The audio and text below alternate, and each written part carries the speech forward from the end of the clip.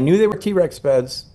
I didn't really think that I would walk into a mummy zone, but that's what we ended up doing. Behind me is this juvenile duckbill. You can see the rib cage, the skin wrinkling over the rib cage, and this crest down here. It's uh, six, eight inches tall. This, by the way, is a juvenile, the first juvenile mummy. We call them mummies. And what we wanted to find out is the question that's probably on everybody's mind, which is, is that real skin?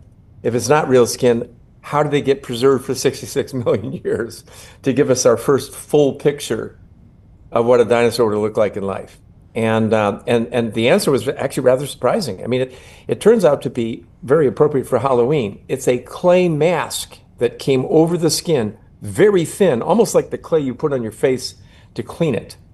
And uh, the skin then dissolved away, the bones fossilized. We're left with this clay layer that preserves all the detail of the skin underneath. But to, to preserve it, you've got to prepare, you got to eat your Michelangelo preparators to go in there and just pick off sand grain by sand grain and leave the clay. But when you look close, you'll see the frill that goes across the back. You'll see wrinkles of skin, scales, and you'll see hooves on the hind feet. Catch the latest on this story at Fox 32 on Fox Local.